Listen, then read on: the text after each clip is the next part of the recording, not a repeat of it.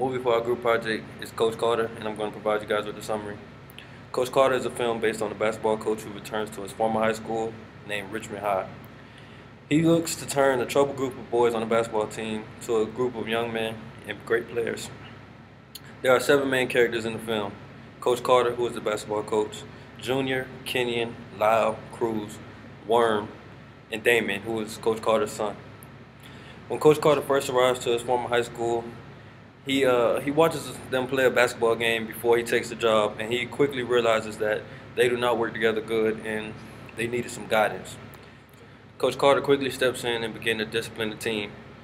He teaches them the importance of showing up on time, abiding by team rules, and also maintaining the 2.3 GPA.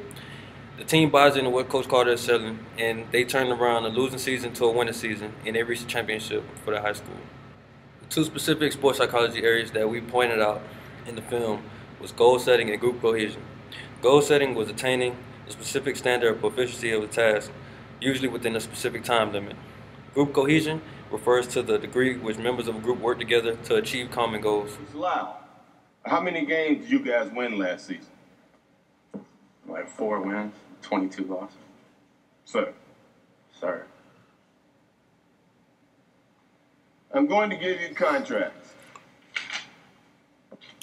If you sign and honor your side of them, we are going to be successful. Damn, do I get a signing bonus for signing this contract? Yes, sir.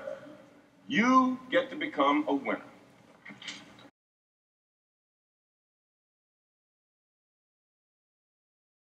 What Coach Carter wanted to achieve by goal setting was that if you follow through and complete your goals, you will be winners. The goal setting caused one of the main dramas of the whole film, which was the lockout. The players had to sign contracts that stated their goals and how to achieve them, but they weren't meeting them, so practice and games stopped until they met all of their goals. This method was very effective because the team never lost until they got into the playoffs. Several of their players went on to play college ball, and most of them graduated high school, which was very surprising at Richmond High. This film shows exactly how important goal setting is, especially off the field and off the court. It does a good job of good job of showing how important it is to communicate exactly what you want when you're setting the goals, because that would have prevented the lockout in the first place. I agree with Coach Carter's methods that goal setting should be used in this situation. And I also agree that he should have been the one setting the goals because the kids would have been and would have set their goals way too easy so that they could have easily accomplished them. He does have extreme measures though, like the completely stopping the team from playing or practicing. But he proved that winning isn't everything and school should be the first priority when you're a high school athlete.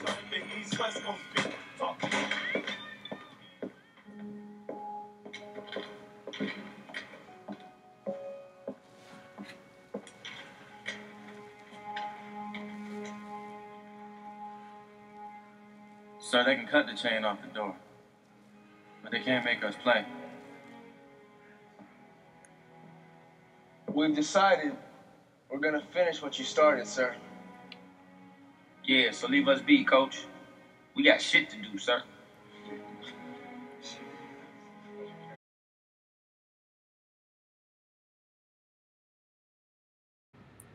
Coach Carter uses group cohesion to prove that everyone succeeds and fails together and that they are a team. This is shown in several scenes throughout the film. One is that the, is the first game where they learn to trust each other on the court. They also show it while running and doing push-ups, which develops cohesion because they work together and they push each other. It's also shown when Cruz attempts to get back on the team, but he fails in getting all of his push-ups and gassers done but Lyle steps up, shows great cohesion with, throughout the group, and helps him achieve his goal. They also show commitment to each other and Coach Carter, along with the teamwork that they developed when they finished their academic work, even when everyone else said that they didn't have to. All these scenes show great group cohesion, and they're all very powerful messages to get out to the public. This is a goal, uh, group cohesion is a very effective and practical skill that Coach Carter needed to instill. The team is an inner city team that had no previous success and they always played individual basketball. They really needed to form a team to have a chance and, and succeed. The movie obviously shows that Coach Carter succeeded in making a team, and it shows exactly what a cohesive team can accomplish compared to an individual team. Coach Carter formed this cohesion through conditioning, being very sarcastic, and asserting his will and his way. He used extreme measures to help build team cohesion and to be successful. But it did work. Sometimes being extreme is the only way to help. However, this isn't the best coaching style for a high school basketball team. Most of the time, you don't want to be this demanding of them. But in this case, it worked very well. Mr. Cruz,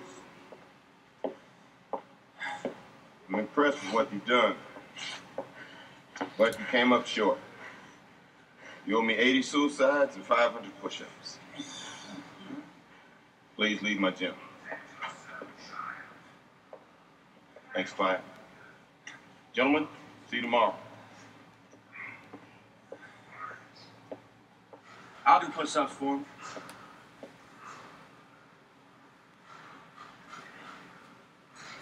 You said we're a team. One person struggles, we all struggle. One player triumphs, we all triumph, right?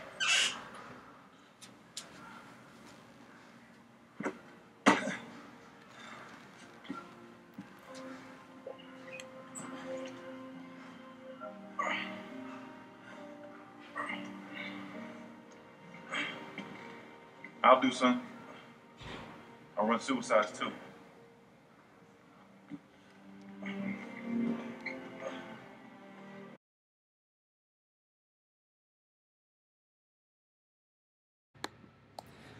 We're going to use the sport psychology area of group cohesion displayed in the movie and incorporate that into the role of the collegiate strength and conditioning coach. The new season starts in the summer when brand new recruits are coming in for summer workouts. It is the job of the upperclassmen to take in the new recruits and show them the way the team works, the program works, and the expectations of the program. We'll divide lifting groups by position, wide receivers, linemen, defensive backs, etc., into three to four players.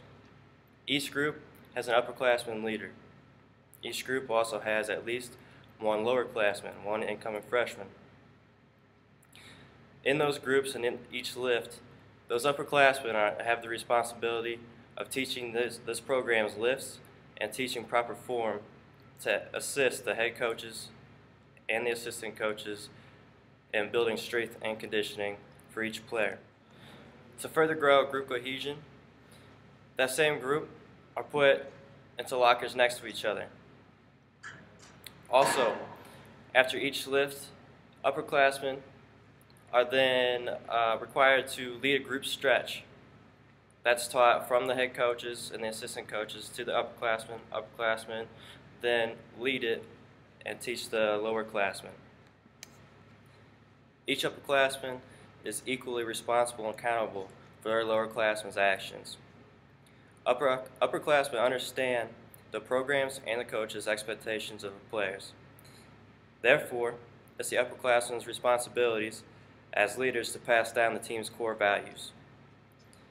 One player's discipline is the group's discipline. Leave the gym right now. For what? I'll ask you one last time to leave the gym before I help you leave. Before you what? Do you even know who I am? From what I can see, a very confused and scared young man. Scared of who? Scared of you? I'm supposed to be scared of you? Nigga, I ain't scared of nobody. I would lay your ass out. I don't think so.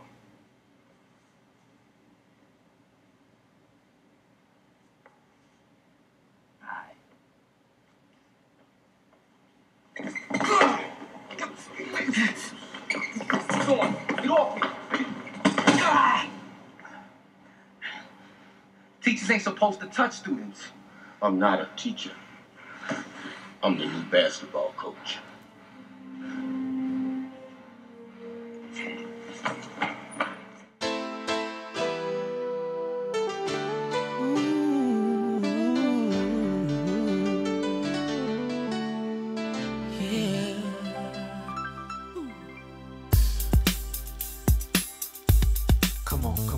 no changes. Wake up in the morning and I ask myself, is life worth living? Should I blast myself? I'm tired of being poor and even worse, I'm black. My stomach hurts, so I'm looking for a purse to snatch. Cops give a damn about a Negro. Pull a trigger, kill a nigga, he's a hero. Get it back to the kids who the hell cares. One less hungry mouth on the welfare. First ship them, don't let them deal with brothers. Give them guns, step back, watch them kill each other. It's time to fight back, that's what Huey said. Two shots in the dark, now Huey